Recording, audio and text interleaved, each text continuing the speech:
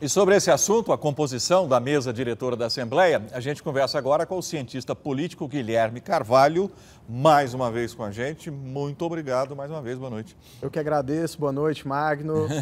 boa, boa noite. Boa noite, Fernanda, obrigado, muito obrigado aos telespectadores e vamos bater um papo. Vamos, Guilherme. É, como é que esse pessoal só toma posse, né? Os deputados só tomam posse em fevereiro. Como é que eles já estão articulando isso agora? Pelo WhatsApp?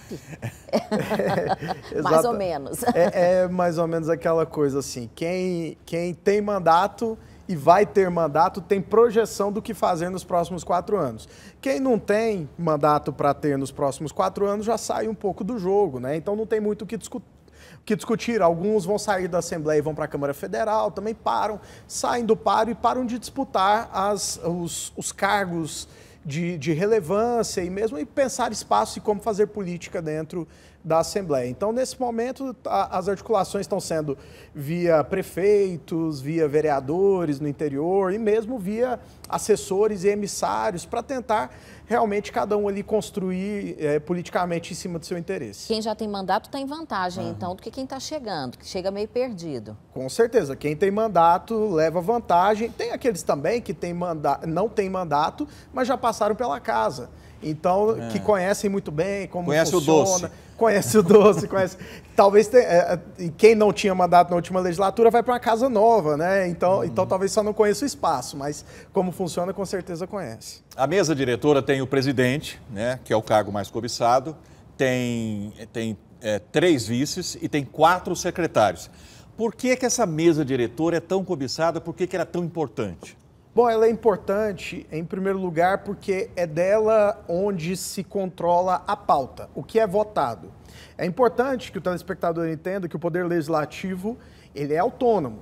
Né? Então, é, é, claro que ali dentro você pode ter aliados do Poder Executivo, uma coisa ou outra, mas na, na, letra da lei ele é autônomo. Então, ele é quem define o que é votado e o que não é votado.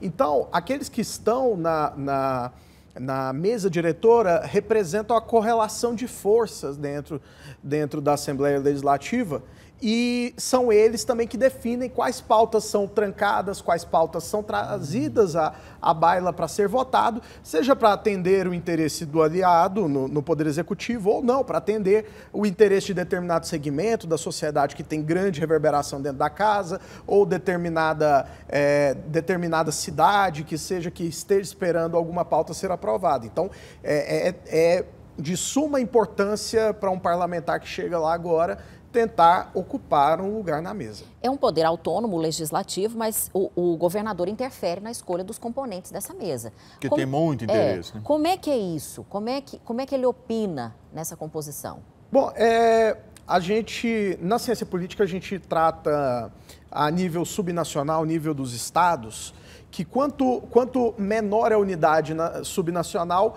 maior é a influência do Poder Executivo. Né? A gente chama de hiperpresidencialismo o papel que o, o governador exerce é, sobre a Assembleia Legislativa. Assim como a gente vê lá no nível nacional, os presidentes, a Câmara, Senado, aqui o poder que o governador exerce é muito maior, porque a correlação de forças que o governador estabelece, principalmente nas eleições municipais que são separadas, é, é, de construir uma base de aliados nas prefeituras que são verdadeiramente os grandes cabos eleitorais desses deputados. Então, o, o governador ele tem pontos de pressão sobre os, de, os determinados deputados, até para que eles possam é, é, é, é cooperar e forçaram a cooperação de uma forma que os, os poderes possam trabalhar de forma harmônica. Ele escolhe essa mesa? É, é, ele, ele indica, mas assim, formalmente ele não tem essa prerrogativa. Uhum. É importante dizer, mas é, é uma construção política e é bom para o funcionamento dos dois poderes que eles caminhem harmonicamente na,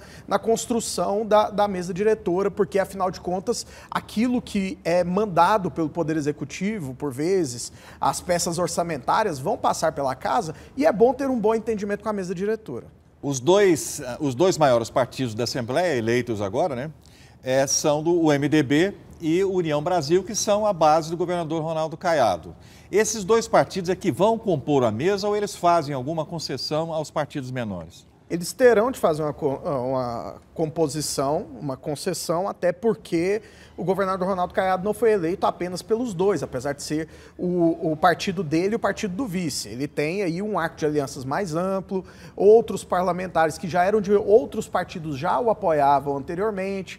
A gente ainda tem uma questão da definição de quem vai ser oposição de fato, isso uma, estabelece uma correlação com a política nacional.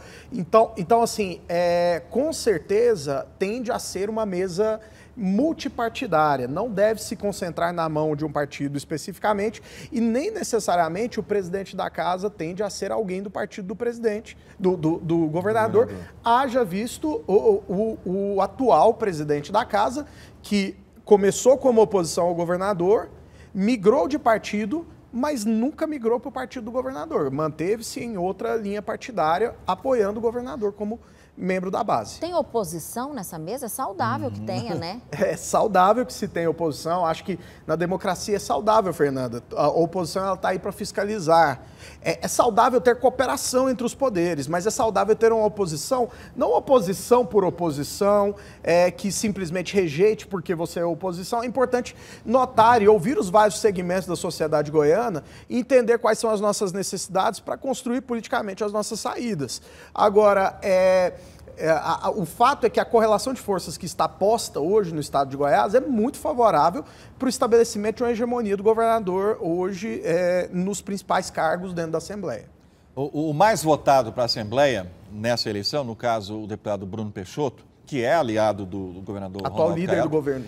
Ele, ele tem mais chance? Ele, Bom, ele tem chances, só que ele esbarra, ele esbarra em interesses de outros parlamentares que tem, também tem bastante relevância dentro tem da casa. Menos três nomes ali disputando é, esse cargo. Tem, tem, tem, outros dois nomes relevantes, além, além do Bruno Peixoto, obviamente, é, que são, são pessoas que têm apoio no interior também, de prefeitos de muita relevância, prefeitos da base, e o governador ele não vai poder impor o nome favorito dele, mesmo que seja um ou seja outro, porque ele vai precisar ouvir a base por completo. Acho que a maior missão do Ronaldo Caiado nesse momento é, de fato, construir uma, uma coesão política em todo o Estado, e para isso ele precisa respeitar é, e ouvir bem a base aliada para fora da Assembleia, que são prefeitos e vereadores do interior.